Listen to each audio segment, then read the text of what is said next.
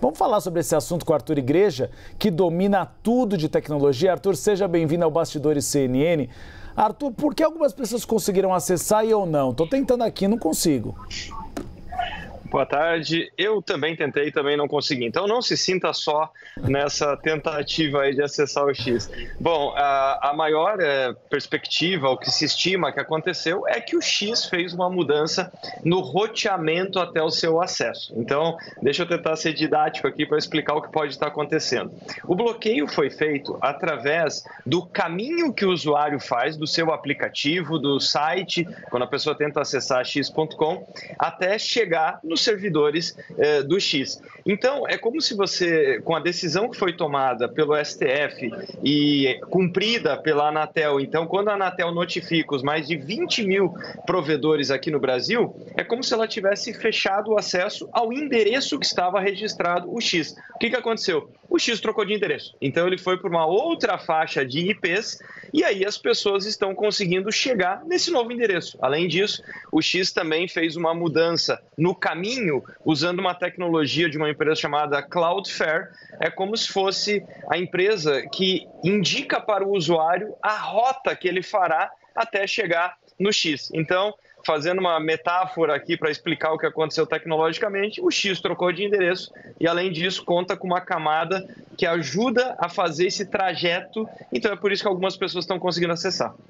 Arthur, pelo que você tem acompanhado do cenário internacional, alguma chance do Elon Musk recuar e bloquear aqueles perfis investigados pela Suprema Corte ou, eventualmente, colocar alguém para estar à frente do X aqui no Brasil? Ou a nossa previsão é a mais pessimista possível, sem data de volta do X no Brasil? Eu não só acho que ele não vai mudar sua postura, como o fato que algumas pessoas estão conseguindo acessar mostra que ele está duplicando a aposta. Então, é, o fato de, do X, porque essa alteração não foi uma alteração da Anatel, não foi uma alteração por parte dos provedores. O que aconteceu é que o X fez essas mudanças na, no caminho, no roteamento, até as pessoas conseguirem acessar. E agora, na verdade, nós temos um tabuleiro de xadrez muito mais complexo. Já era complexo, mas ele fica ainda mais. Porque, por exemplo, essa tecnologia que eu descrevi da Cloudflare, ela é usada por inúmeros órgãos aqui no Brasil. O gov.br usa esse mesmo tipo de artifício.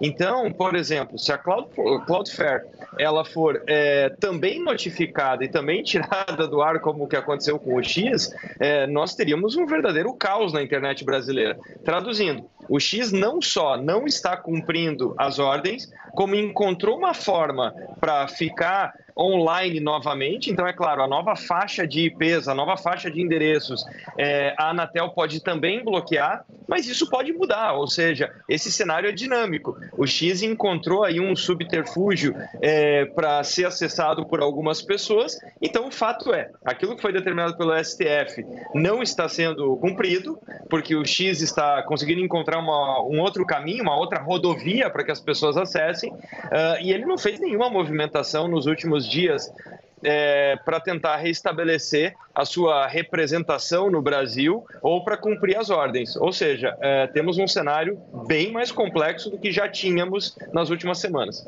E a gente está acompanhando o Supremo Tribunal Federal para saber se vem uma ordem do ministro Alexandre de Moraes, também a Anatel, para que consiga resolver essa questão. Arthur Igreja, especialista em tecnologia. Arthur, obrigado pelos esclarecimentos e explicações. Obrigado, até a próxima.